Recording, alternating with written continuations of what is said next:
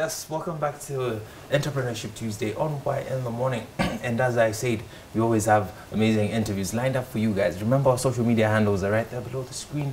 Y254 channel on Twitter, Y254 underscore channel on Instagram, and Y254 on Facebook. You can always interact with us. We have a question on Facebook that I'm going to be sharing with you guys in a few, so engage us in that conversation. Uh, I have a guest in studio, and uh, today we are going to be talking about the rollout process uh, in the music business. And uh, I have the very best in R&B and soul in the country right now, Lost in Savannah. Yes, thank you. Karibu sana. All right, your camera is number 4 So uh, you can introduce yourself, aka zako zote zikam, uh, so we can proceed. I don't have too many AKs. All right. Uh, Anyway, so um, people call me Lost in Savannah as a musician and artist, but my name is Bo James, and I'm a creative from this part of the region, Nairobi, Kenya, and uh, we do things on different dimensions. All right. ODD, I like the way you product placed that. so uh, this is not your first time here, Bo. Yeah, yeah. And that means you're putting in a lot of work. I have been. You have been. Yeah. All right, Motion and Bounce is a project that is very dear to you, and uh, the time has come. Yep. Yes, an idea whose time has come cannot be stopped for sure. Cannot be stopped. All right, how did you know that the time has come? Because uh, from what I know, you finished recording this project a while back. You've been promoting for a while. You've even had events. How did you know it's finally time to release?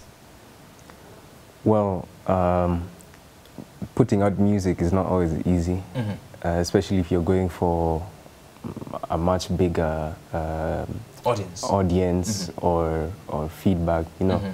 So you have to take the time to let it go as far as possible Mhm. through the available channels that you have. Mhm. So for me, I had a plan that had certain stages, and um, after doing a couple of the things that I needed to do. I felt it was now time to um, release the full project Mhm.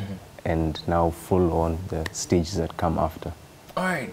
So uh, there's so many things that go into rolling out music, and people use different approaches. Some people like to get into beefs before they release. Some people like to to get into scandals before they release music.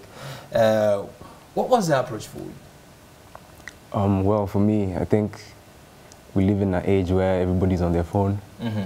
And everybody's watching things, Mhm. including Y254. Mm-hmm. Shout out. uh-huh. Uh-huh. Yeah, so uh, I figured that if there's a couple of uh, materials that I can share with people beforehand Mhm. and um, also just engage with as many people as I can, grow my networks, Mhm. then it would be, you know, ideal to like do a proper campaign. There's enough like chatter and um, like, you know, you'll have enough people engaging you about your content Mhm. before even the drop. Mhm. So I figured, yeah, that's what I would do. All right, there's a word you dropped the uh, that l- so immediately uh, gave me a light bulb moment. Network. So the networks you formed over time. All right. Uh, so what is the importance of the importance of networking as an artist uh, for you? So networking puts me um, in the same company a- Mhm. as like-minded people. Mhm. That's really important because uh, that way you can both generate ideas Mhm. and implement them uh, together in a way that benefits all of you. Mhm. So you find that the combined effort of everyone is genuine and it actually comes through and gives results. Mhm. So networking is also important because like sometimes you, you just need people to help Mhm. you uh, with your vision. Right. And if you don't have the networks to do so, then Mhm. not because you're not talented or because you don't work hard enough, but Uh-huh. you just don't have the right person or people plugging you into the avenues that you need to be occupying. Right. So, So the networks are very important when it comes to rolling out music. All right. Uh, so uh, I had an artist here who told me uh, recording is easy for him. Releasing is the is the toughest Mhm. part for him. Is it uh, true for you? Well, I can understand him why he Uh-huh. would say that because artists are very critical of themselves. Uh-huh. So before you have the confidence to release your music into the world and share it with millions of people on the internet and everywhere Even else. billions now. Even billions now.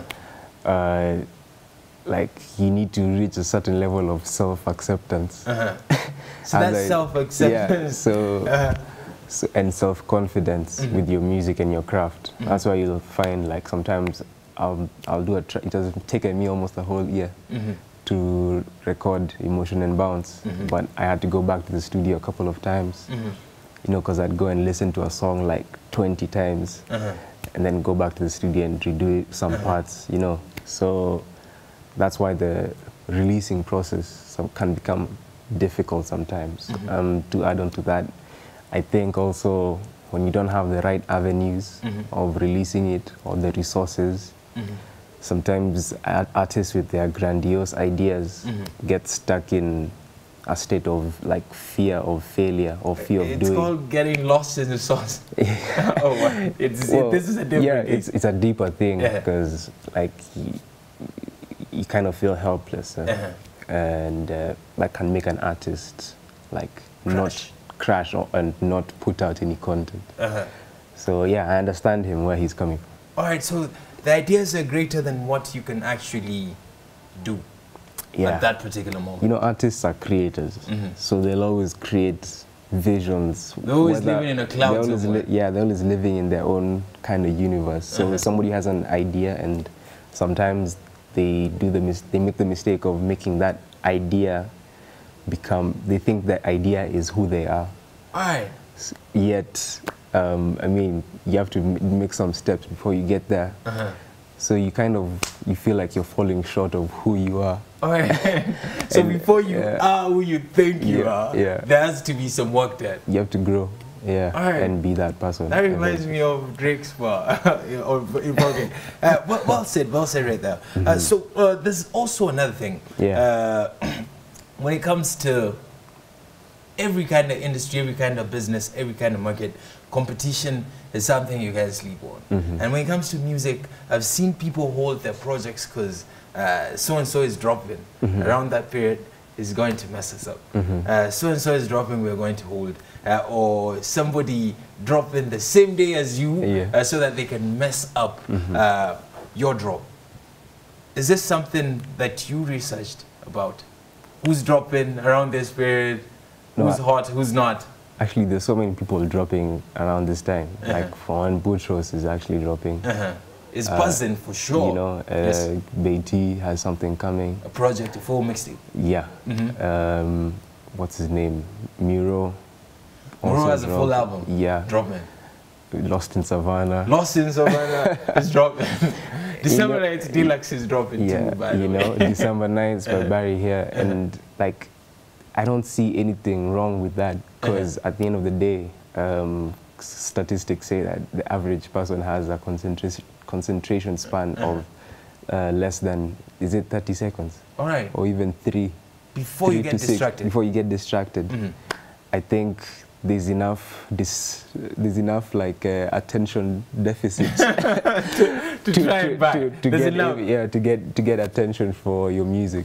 All right. Yeah, so like this competition. In, in fact, now when you look back at what we were talking about in terms of networks, Mhm. those are my, all those people are my friends. Mhm. So instead of uh, working against each other, Uh-huh. when they're dropping, they shout me. I, I shout them out. When I'm dropping, they shout me out Mhm. like that, like that. So when we're dropping It's at the same time, echo it's an ec- uh. i- yeah, it even echoes further Uh-huh. because our reach joined together, and um, something happening at the same time creates some kind of forces and I love that approach there. I love your way of thinking. And uh, I'm sorry to ask, is it because you're an R&B and soul artist? Do you think hip hop artists would think the same? Well, there's people who think the same, obviously. Uh-huh. Others have different ways Because rap is a very yeah, I- competitive yeah, and aggressive sport. Yeah. Yeah. Um, I think that's a barrier for not no pun, I see what inten- no pun intended. I think that's a barrier to to co- collaboration and Mhm. and moving far. All right. so, I mean, hip hop artists like stop beefing for no reason. I feel you. Maybe they can come around and tell us Yeah. how the beef helps uh, with selling the projects. Mm-hmm. But Emotion and Bounce is done. How many tracks are on the are on the EP? And uh, do we have a date? Yeah, yeah. So Mhm. Emotion and Bounce is uh, launching on uh, 11th Mhm. of November, the 11th month. Mm-hmm. 11 11. 11 11. Yeah. That's, Why 11 11? Well, at the beginning of the year, I just started seeing that number every time, Mhm. everywhere. I just uh, just look at just 11, look, 11. 11 11. Uh-huh. So it so many times and it just subsided. All right. And when So as much as Bo is strategic, Bo studies uh, business, Bo studies books, Bo, Bo reads books, Bo is still spiritual. well, you can say so. Yeah, Uh-huh. yeah, I am. So there are times you make decisions based on Mhm. Something Based- else yeah. from something different from logic. Yeah, sometimes you just have to go with a gut feeling. Wonderful. Motion and bounce Yeah. is also a genre of music. It is indeed, Uh-huh. and um, me and a couple of artists, uh, I mean, and producers, we engineered a sound. Mhm. Like all the songs that you hear there, there's no YouTube beats, there's Mhm. no beats that I just bought from somebody randomly. Mhm. All those beats have a touch of me in them because we made them From scratch. From scratch. Uh-huh. Obviously, some samples, you know, Mhm. but in very minimal, like one or two songs. Mhm. Otherwise, the rest is organic from scratch. And uh, we just made a new sound, Uh-huh. uh, put my vocals there, and I just played around with everything, Mhm. created something new. Mhm. And I think it's new because it's unique to me, Mhm. and I'm not the same as anyone else in the world. All right. So that's why Bo is Bo. yeah, Lost in Savannah is the Lost only in Lost in Savannah, Savannah yeah. we're going to exactly. we're going to find Mhm. in the savannah. Yep. See what I did? Yeah, yeah, yeah. okay. Shout out to you, Lost. Okay, so uh, we have a date. We have the title of the EP Mhm. and uh, the, the platforms now. We need the platforms that we are going to be finding it on. Yeah, so locally, it's going to be available on Boomplay and Songa Music. We're going to partner with them to do something. Mhm. Um, and, uh, well, internationally, you can find it on Apple Music, Mhm. iTunes, Mhm. Spotify, and YouTube. All right. And just a few songs will be on SoundCloud. Okay, to an artist that is watching out there Yeah. and uh, is trying to figure how can I get my music on all those sites? Uh, I only know about YouTube. How can I get my music uh, to all those platforms? What uh, what uh, what was it? What's the the way that? So there's, there's a bunch of third-party Mhm. apps and uh, platforms which act as a distributor Mhm. for musicians all over the world. Mhm. So all you have to do is pay an yearly subscription fee. For some, it's two two thousand Kenya shillings. Mhm. Some it's uh, four thousand. Mhm. There are different plans based on your needs as an artist at that time. Mhm. So I have the most basic plan because I mean that's all I need right now, Mhm. and I use it. I use DistroKid. Mhm. You can just check out DistroKid online. Um, the CD Baby. There's a bunch of others. Just if you search for all those things, you just find them on. Mm-hmm. You the- just on find them online. Yeah. So, all right. Do they get a Mhm. cut of uh, your streaming revenue? No, I mean once you pay that subscription fee, Mhm. that's it. You upload all number of songs that you Mhm. want during that year. And then you can renew your contract. You renew But your streaming uh, Your revenue, streaming revenue comes in intact. All of it is yours. Like I've I've withdrawn four times this year. Uh-huh. Uh, 900 shillings, Kenya shillings, four times. Wow. So at but least that's money. That's money you can count. That's money- That's money you earned from your Yeah. from your work. from music. Uh-huh. Like I mean, some people, I never thought I'd make any shillings from music. I've made some money from shows. Uh-huh. uh, from selling my art, Uh-huh. from selling my services as a graphic designer and Mhm. editor. Mhm. But music has always been Just down there. It's, just down there. But it's revenue. yeah, its the least- revenue is the least uh, seen. But at least it's it's only bound to grow now. it's only bound to grow. The Mhm. fact that I made some withdrawals this Uh-huh. year means like at least there's something, you know. Wonderful. Yeah.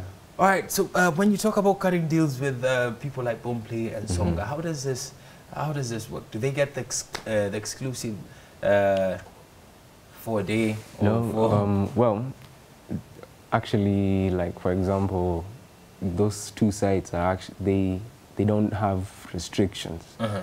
so they're not exclusive. You, they don't have exclusive rights to distribute your music. Uh-huh. So when everything is dropping, Uh-huh. it will also just also drop on their platform. Um, aside from that, Mhm.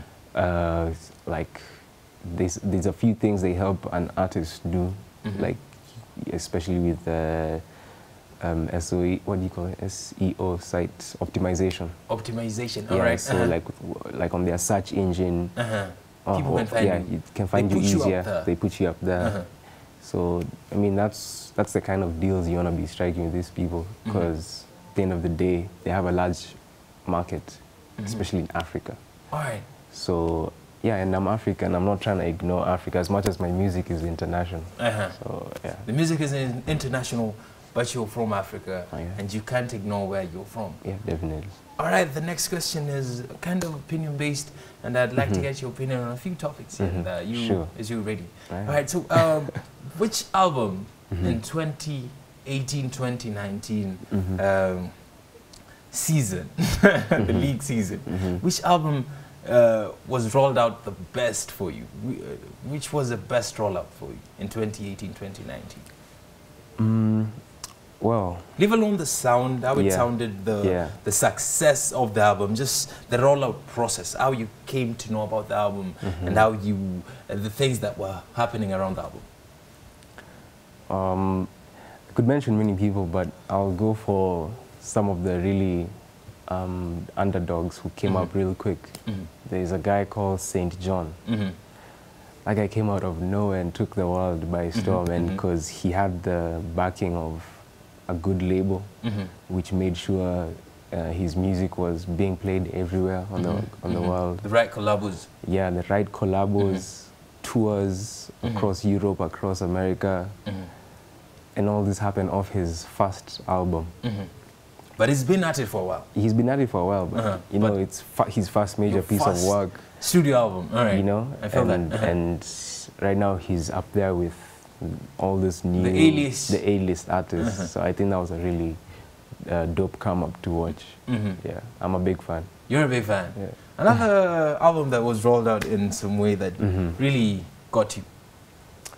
Well, um, I could think I could uh, I could think of uh, Tory Lanez album. Tory Lanez album. Yeah, All right.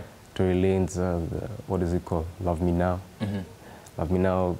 The the the, the rollout was good All right. because it was very engaging. He's very visual. Uh-huh. He's very consistent, and um, like his music is just dope. The music So is dope you as can't, well. You can't This- these are people you're Yeah. fans of as well. I love I their think my favorite was Astroworld, man. If you ask me, Astro World. That's the I would also, that's uh, number one actually. that's number one. Yeah. I see. Astro World. Astro World was. pa- That was a done. that was a good one. And I, th- I think uh, as an artist, people Mm. should study uh, guys Mm-hmm. like Travis Scott when you're planning to release your music. Just Mm-hmm. uh, study somebody like Travis, somebody like Kanye West, and just get to understand how these guys Yeah, get to connect See what they do. uh, with the people the True. But it- at the end of the day, it's ab- like you said, it's about connection. You just need to connect with as many people so Mhm. what that when your material is available to them, Mhm. they care enough to, you know, click or watch or Right. listen. Yeah. Wonderful. How can they find you on social media, man? Uh, so if you wanna see my art, see Mhm. my business and what I do in terms of visuals, you can find me on at at on different dimensions or Mhm. just Oh. search Odd Society. Uh-huh. ODD Society. Mhm. Yeah. Um, my music is available online as Lost in Savannah. Mhm. That's Lost in Savannah. With a double N. Double N, no H. No Just H. one word. Just one word. Yeah. With a dollar sign. No, no, it didn't. It's normal, normal. All right. So Lost in Yeah. Savannah. YouTube, I'm uh, on YouTube. You want to watch my music videos, Mhm. um, just search Lost in Savannah. Mhm. You find everything there. All right. Yeah. Uh, so one thing that you can tell people about Emotion and Bounce and the reason they should cop it when it drops. Emotional imbalance is an exploration of love, pain, and passion, um, backed up by beats with psychedelic melodies. yeah, and uh, energetically bouncing Uh-huh. 808s and percussions. That thing slaps. so just you need to go and you just need to get Thank it. you very much, Mr. Yeah. For coming to my other morning. Emotional pleasure. Bounce is coming out on November 11th. That is November 11, 11. 11. Watch out for Lost in Savannah, Emotion and Bounce. You can even pre-order now. You can even pre-order now. Yeah. Where can they get to pre-order it? iTunes. iTunes. Yeah. You can pre-order on iTunes. Uh, the rest, boom Boomplay, Songa, Oh yeah, and Mookh. Mookh. You can Yeah. pre-order on on uh, on iTunes. You can pre-order on Mookh as well. Mookh is where you sell it. You, you're selling Mm. yeah, copies. selling actual copies, Mhm. and there'll also be merchandise, Mhm. T-shirts. Mhm. Um, I make art also, like framed art. Mm-hmm. So there's a whole theme. Mm-hmm. I'll do another collection. I have an I have an event um, every other month Mm-hmm. called the collection series, and uh, I display art as well as music with a bunch of other artists. And there's a whole collection of art Mm-hmm. which is based off Emotion and Bounce, the album. Mhm. And this art you can hang in your house. Mm-hmm. It looks it looks beautiful. It's All right, yeah. why did you hide that part for us? All right, so there's a series of pieces of art you've done Yeah. that are related to emotion and bounce Yeah. that are going to be sold differently. Oh, as merchandise. Yeah, collectively as part of the whole drop of the prog of the of the mixtape. All right, Yeah. so we see artists doing merchandise, but you chose to do framed arts, Framed art pieces as well. Mm, framed art. Mhm. There'll be T-shirts. The same arts are printed on T-shirts, Not the same, different, Uh-huh. something different. something different. Uh, buttons, you know, Uh-huh. the pin buttons, Uh-huh. wristbands, Mhm. And we're gonna go all So out. So there are so many ways to support Lost, uh, Lost in Savannah. Yeah, man, I'm, I'm, I was actually thinking today I'm gonna start a one million challenge. I want you guys to help me raise one million Mm-hmm. so I can do visuals for this entire album. Right. And you can do that by buying my work. Uh-huh. It's not expensive, it's very affordable, Mhm. it's very valuable. So you're not asking people to donate money for you. No, no, I don't You want to raise a million, but you want to raise it through selling your stuff to the people. Yeah, yeah, so buy it. So a list of people, a list of things you're selling. yeah, so there's art, Mm-hmm. there's the music, Mm-hmm. there's t-shirts, Mhm. there's buttons, Mm-hmm. there's wristbands, Mm-hmm. and I also provide other services. I'm a vid. I mean, I have a company that provides videography services, Mhm. music production. Mm-hmm. Um, we also do branding and marketing. So if you want our services, just I mean, help me make that one million. All right. So are we going to be keeping track with you? Are we, are you going to be updating us? We had uh, hundred thousand. we had two hundred thousand now. I'm gonna do that. I'm gonna do that. You're gonna do that with Yeah, us for sure. I'm gonna do that. All right, wonderful. uh, this uh, falls right in place because we have an interview with uh, crowdfunding people that Yeah. is coming up next, and this is going to be uh, teaching us on how we can raise capital when we don't have Mm-hmm. uh, access to the capital. Man, I salute you, Lost in Savannah, and you've come a long way. And uh, the creativity, I love the I love the creativity, Thanks, thanks. and I love that uh, your projects are well thought.